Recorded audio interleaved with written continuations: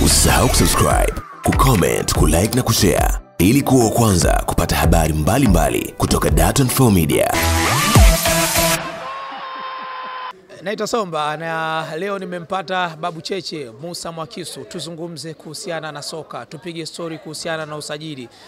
Kuna baadhi ya timu ikifika masuala ya usajili ama wakati wa usajili, purukushani zake mjini zinaeleweka. Sasa tupate tathmini ya kile ambacho kinaendelea kwa sasa. Brother, vipi? Ah, safi Somba, mambo? Fresh. Mimi nijua ushasajiliwa na timu yoyote. Ah, bado mimi sina uwezo bwana kama wao wanaosajiliwa kutoka Kongo, kutoka Uganda, wengine kutoka Malawi Hao ni watu ambao ni maalum yani kwa ajili ya soka letu. Unajua tena mara nyingi sana tumeshuhudia wakisajiliwa kwa mbwembwe na baadaye kuna wengine wanafanikiwa, kuna wengine hawafanikiwi. Baadhi ya vilabu ambavyo tayari vishaanza uh, usajili vi, vi, vinafanya uh, usajili kulingana na kile ambacho ki, wamekiona kunako msimu uliopita, lakini pia hata wengine wanafanya usajili kulingana na matakwa ya walimu wao.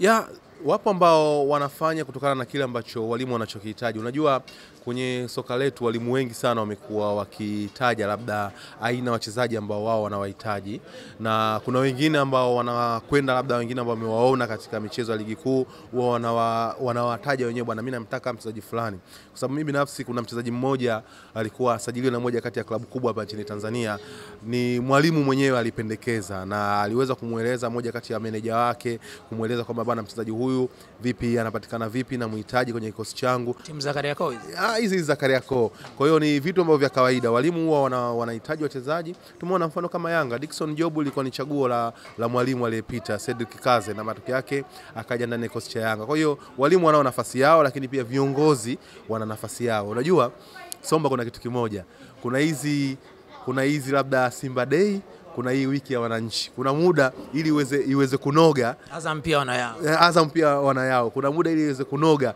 ni yale matukio ya utambulishaji wa wachezaji, na ukumbuke kwamba ni timu ambazo pia zinaamini unapokuwa na mchezaji mpya unaweza ukauza jezi zako za kutosha. Kwa hiyo yapo mapinduzi makubwa ambayo yamebadilika katika soko la usajili la nchini Tanzania ambalo linashawishiwa pia na haya matukio makubwa ambayo yapo katika hivi vilabu viwili, na ndio maana unaweza kukuta timu inaweza ikawa na wa kila aina ya mchezaji, lakini bado inakwenda kwenye soko la usajili kwenda kusajili mchezaji, kujaribu kuona, wanasema ile amsha amsha.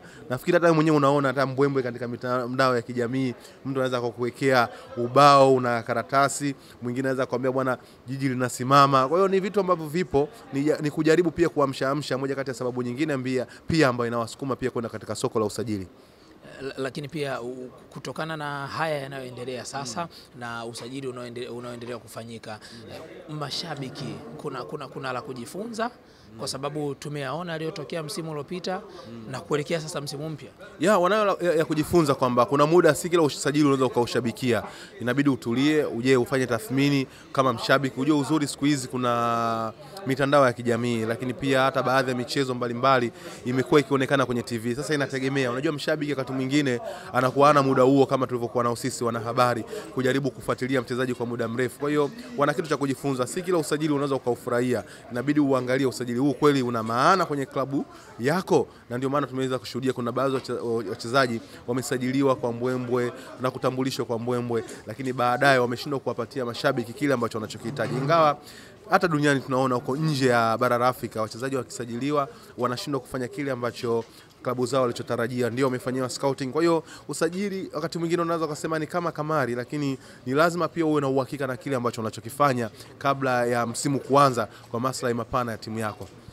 Kwa uchache tu eh, kipi ambacho unakiona katika purukushani za usajili kwa upande wa Yanga kwanza? Ya naona wanakwenda kusajili katika maeneo sahihi.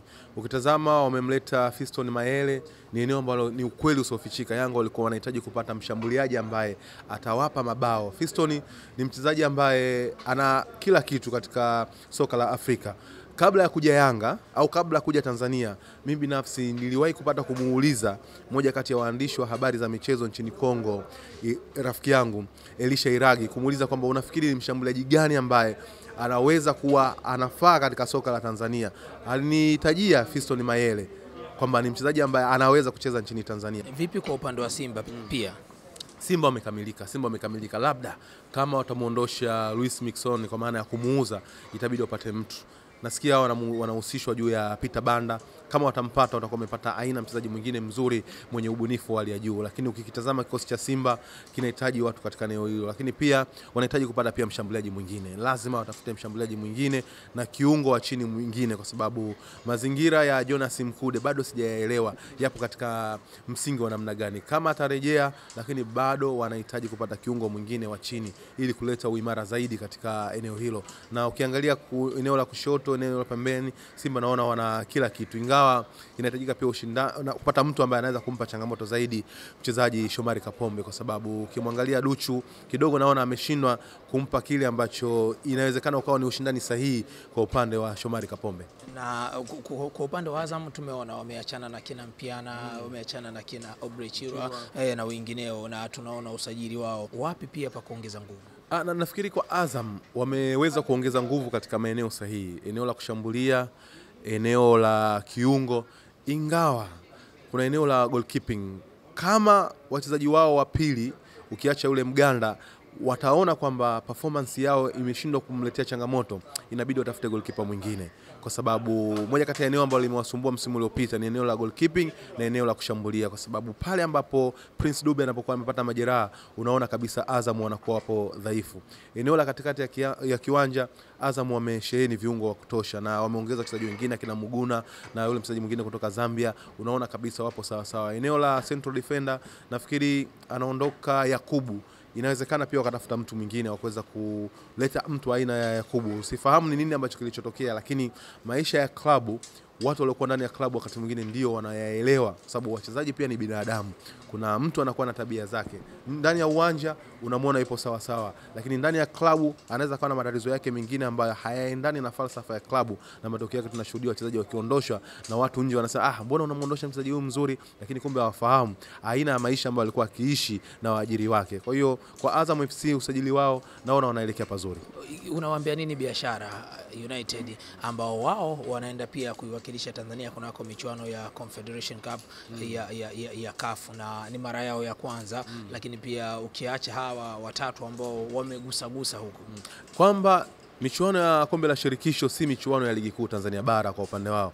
Kwanza ni michuano ambayo inahitaji uwe na bajeti kubwa sana ya fedha, na kama ukiwa uko chini kifedha, moja kwa moja raundi ya kwanza inakutosha, kwa maana utakwenda utafungwa na utaondoka, kwa sababu ni michuano ambayo yenye kuhusisha matumizi makubwa sana ya fedha. Nafikiri hata Namungo FC leo hii ukienda kuwauliza watakwambia moja kati ya changamoto kubwa ya michuano hii ya vilabu barani Afrika ni kutokuwa na nguvu kubwa sana ya kiuchumi. Tunaona timu nyingi za Afrika Kaskazini zinatawala kwa sababu ya kuwa na uchumi imara sana, na maana zinafanikiwa kwa sababu wao wana makampuni mengi yanakuja kuwekeza. Kwa hiyo kwa, kwa upande wa biashara United wanahitaji kupigana katika rasilimali fedha ili wahakikishe kwamba wanapata pesa za kutosha na kusajili wachezaji wenye ubora wa kutosha ili waweze kwenda kufanikiwa, lakini pia wawe na benchi bora zaidi la kiufundi, kwa maana ya kumpa nafasi mwalimu afanye kile ambacho anachokiona ni kisahihi katika viwanja vya mazoezi, na baadaye wanaweza kufanikiwa, lakini pesa ni muhimu kwanza kwa biashara United kuelekea katika michuano hiyo, la sivyo wanaweza wakaenda mechi ya kwanza na kupotea, kwa sababu huko unakwenda unalipia ndege, unalipia hoteli, unalipia labda viwanja vya mazoezi. Zipo changamoto nyingi sana, kwa hiyo kwao wanakwenda kwenda kucheza michuano mikubwa sana ambayo baadhi ya timu barani Afrika kuna muda kabla ya ratiba ya kutoka tayari wameshajitoa, lakini naamini kwa biashara United watapata wadau wa kuwasukuma zaidi, na wao kama wana dhamira ya kutawala soka la Tanzania na la Afrika ni lazima wawekeze katika fedha. Babu Cheche Musa Mwakisu, mimi nikushukuru. Asante sana. Naitwa Somba, nilikuwa na Babu Cheche Musa Mwakisu, nyuma ya kamera pia ni Isa Manoti. Mpaka wakati ujao, hii ni Dar24. Usisahau kusubscribe, kucomment, kulike na kushare ili kuwa wa kwanza kupata habari mbalimbali mbali kutoka Dar24 Media.